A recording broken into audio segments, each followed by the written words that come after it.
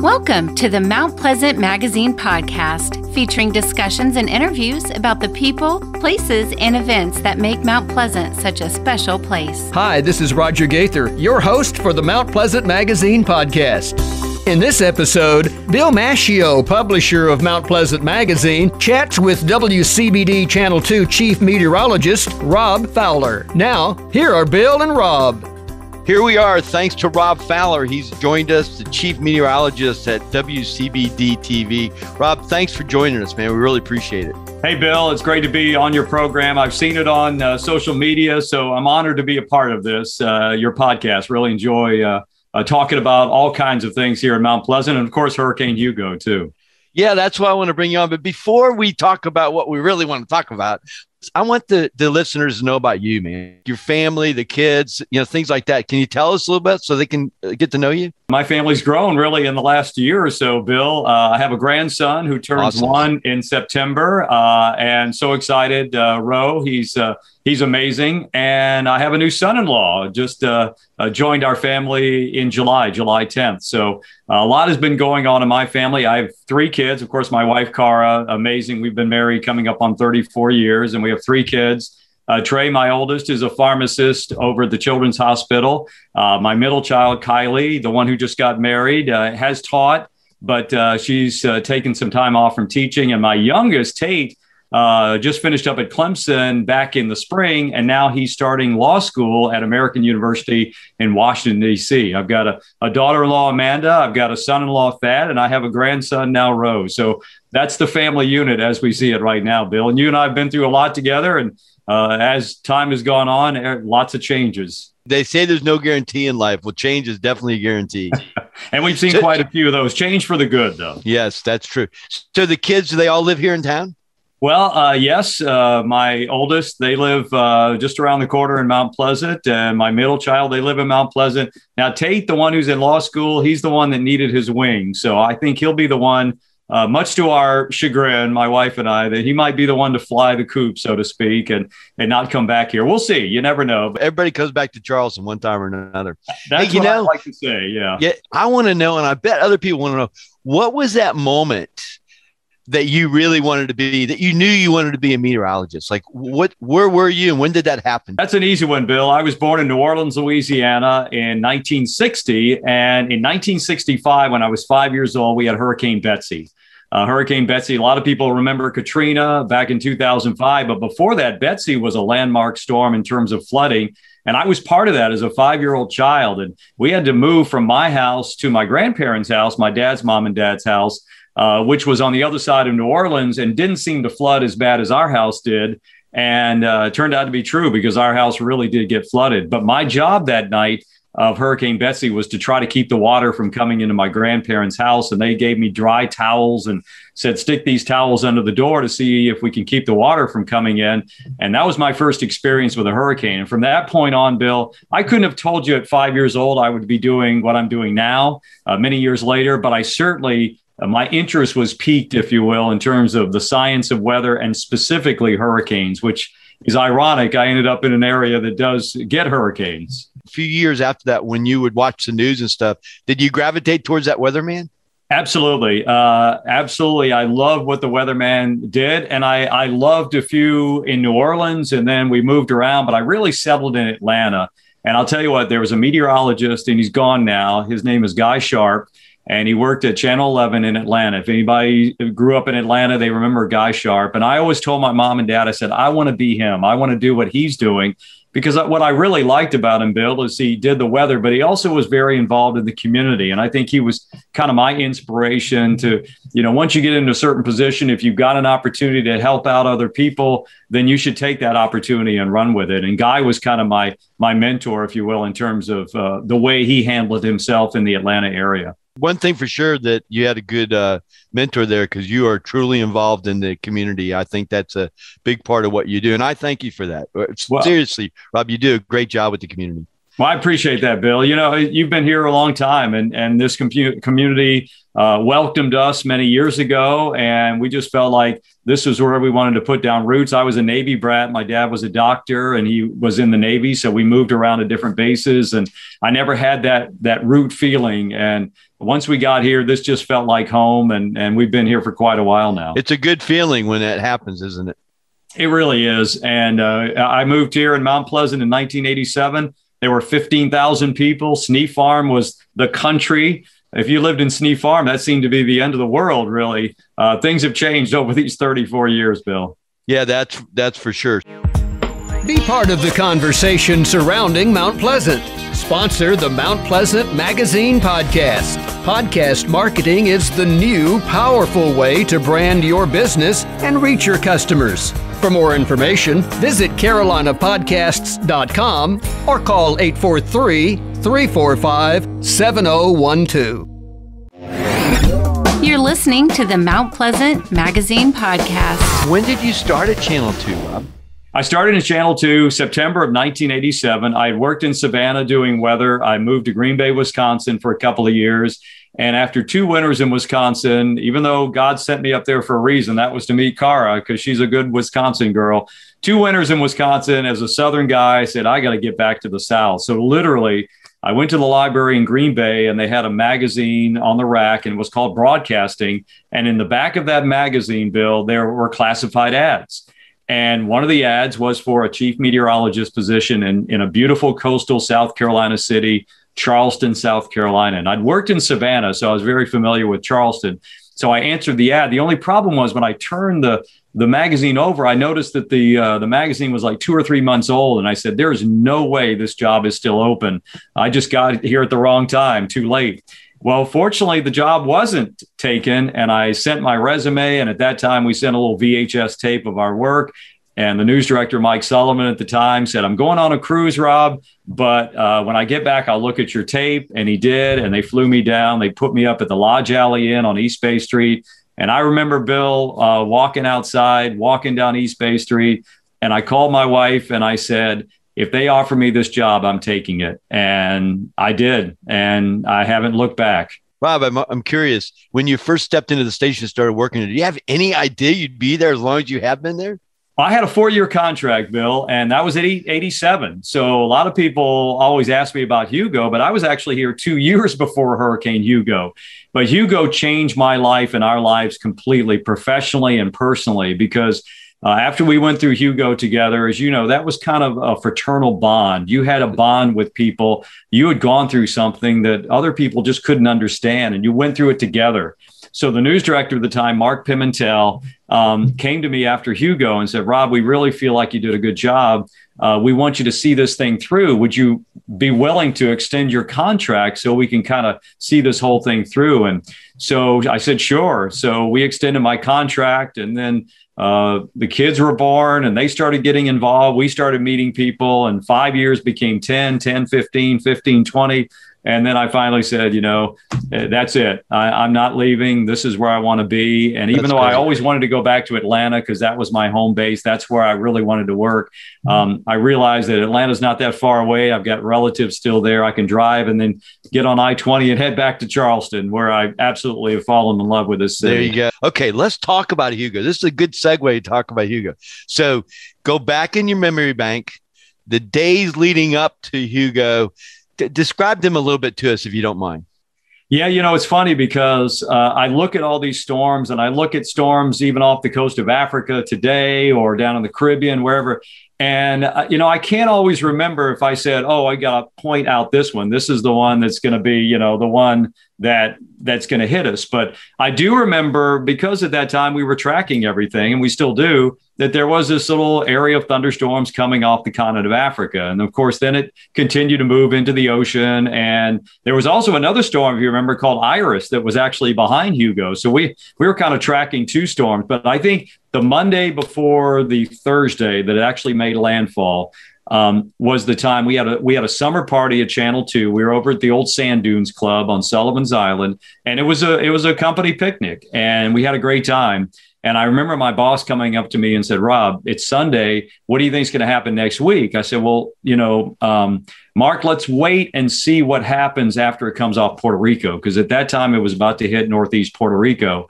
I said, let's see what happens. If it makes a turn, then we should be okay. If it doesn't, then we might really have to pay a closer attention to this. It didn't make the turn, as you well know, and kept on moving northwest right into Charleston Harbor. So I do believe that Monday was the turning point where we had to step it into the next year and realize that uh-oh, with a ridge of high pressure pretty strong to the north, it's not going to make a turn.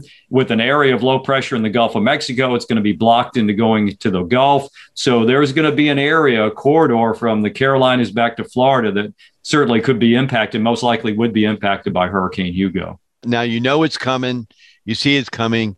What went through your head of what you have to do for your community at that point in time, knowing there's going to be a landfall? I think about this all the time, Bill. Uh, you know, what was my mindset? And I think we were all kind of like, not in denial, but just kind of like is this really happening kind of thing? And i was young. I had never gone through this before. So i just kind of went on instincts. And i think we all kicked it uh, into another gear all that the folks who were there at that time. And we still all of us still stay in contact with each other. Gary ross who was a reporter during hurricane hugo he was just here in charleston visiting and we had uh, breakfast brunch together and really relived a lot of this. So I think, uh, fortunately for us, Bill, I think the determining factor for us, we had a chief engineer. His name was Mike Opowski. And Mike, in January of 1989, not knowing this was going to happen in September, he had just gone through uh, Hurricane Gilbert in 1988. He had worked at a TV station down in Harlingen, Texas. And he said in January, he said, Rob, do we have a hurricane plan? And I said, Mike, I think we do. Well, we found out we had a plan, but we really needed to dust it off quite a bit because as you know, it'd been quite a while before since we've seen any kind of major hurricane like a like a Gracie or a Hazel, yeah. um, or even David. You know, kind of a glancing blow. So he kind of pushed us into that direction. He said, "I just went through Gilbert. Man, you guys need to put this plan in action. We need to update this."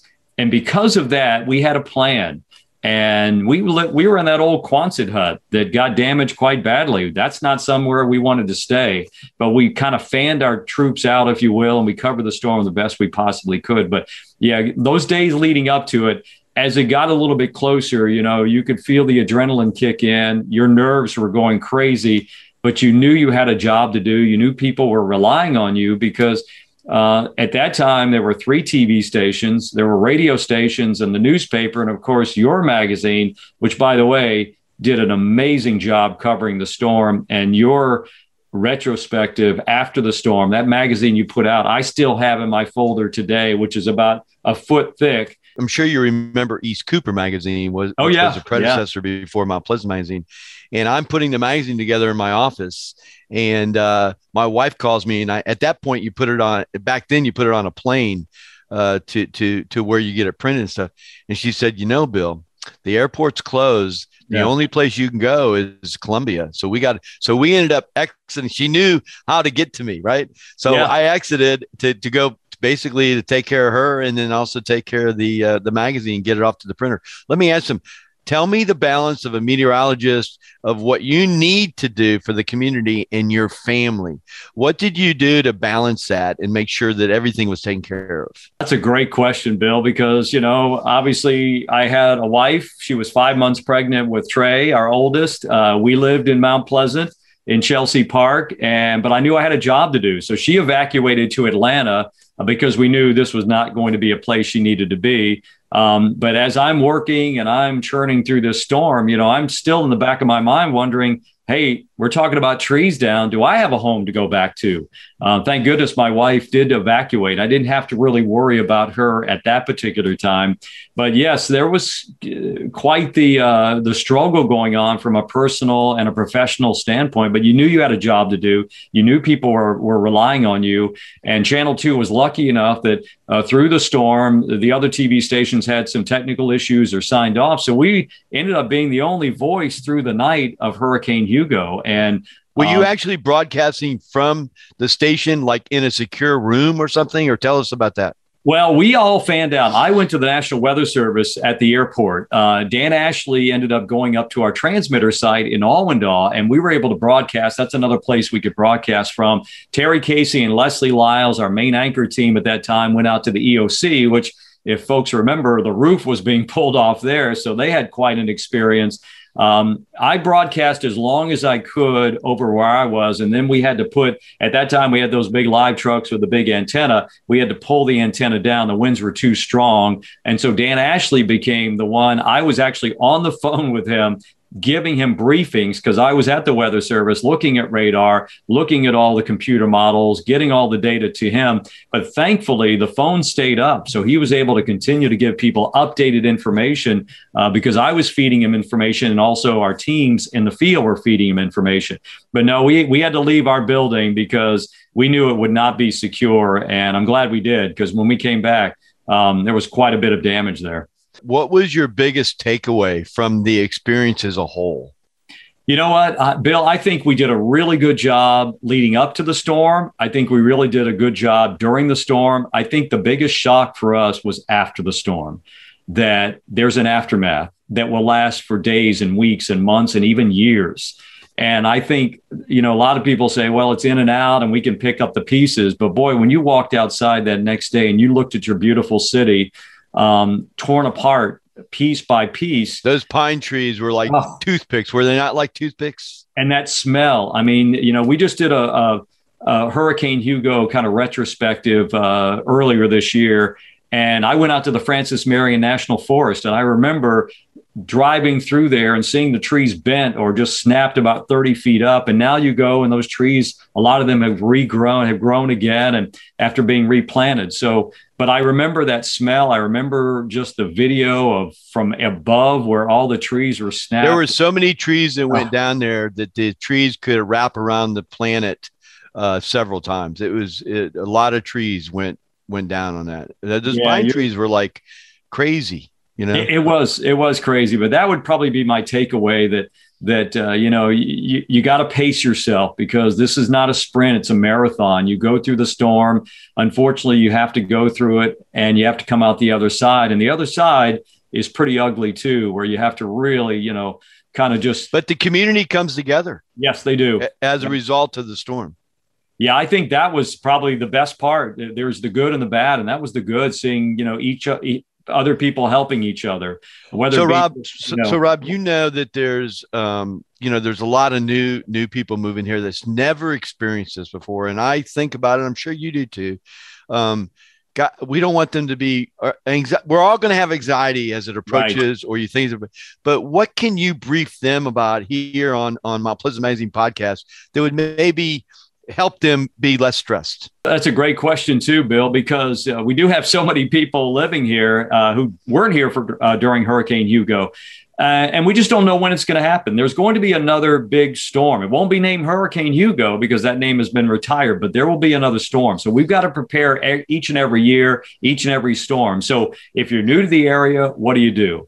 Well, you have to find a reliable source of information uh, to get you that information you need. The computer models, the radar, the satellites, everything is so much better than it was in 1989. We were using a radar that was what we call the WSR, the Weather Service Radar 57. That was in 1957 we were using for Hurricane Hugo. So we have the technology um, we have the computer modeling. It's not going to be perfect, but I think we can give folks a pretty good heads up on when the storm might hit, where it might hit, and when and if it does hit, what to expect. So with social media, there's a lot of misinformation out there that we have to weed through now that we didn't have to uh, during Hurricane Hugo. Okay, so the number one thing on top of your list, being the meteorologist superstar you are, is uh, is social. Don't pay attention to social media, as you said at the beginning of that get a reliable source. What would be another thing that you would mention? Just be ready, have a plan, and just in case. Now, let's just say you put your kit together and you can go to your website. I know on our website, we've got great information, uh, a tutorial about what needs to be in your kit.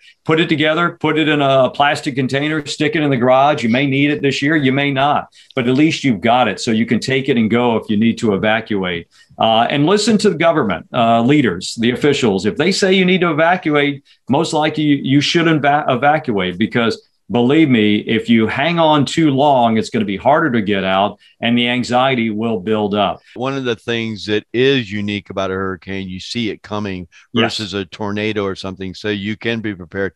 I have to share this with you. And if you go to www.hugomagazine.com, that's Hugo Magazine, you can actually flip through the digital pages of the magazine.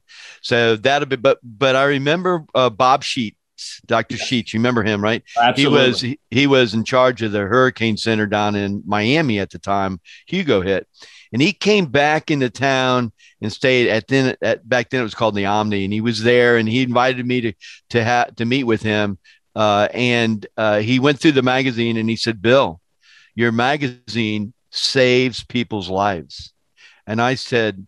I'm just a publisher. What are you what are you saying? He said, no, Bill, by going through your magazine and people seeing the devastation a hurricane can, can cause, people will be more likely to evacuate. Therefore, you are saving people. And I was so taken by that, uh, Rob. It just it stuck with me my whole life. He was such a nice man, wasn't he? He was and uh, is. And and uh, and again, you're right. I mean, pictures tell the story, videos tell the story. For those who weren't here during Hurricane Hugo, we look around each and every day and look how beautiful our city is, our low country is. But um, but we know when a hurricane comes in, and all you have to do is look at pictures of, uh, you know, what's happened recently and over the last few years, last year especially, where we had so many storms. So um, I think everybody needs to know that uh, those pictures and other places could eventually be us again after, you know, 32 years since Hurricane Hugo the her, magazines, whether it's Mount Pleasant magazine, Rob, or whether it's the, the, Storm of the Century magazine, the Hugo magazine,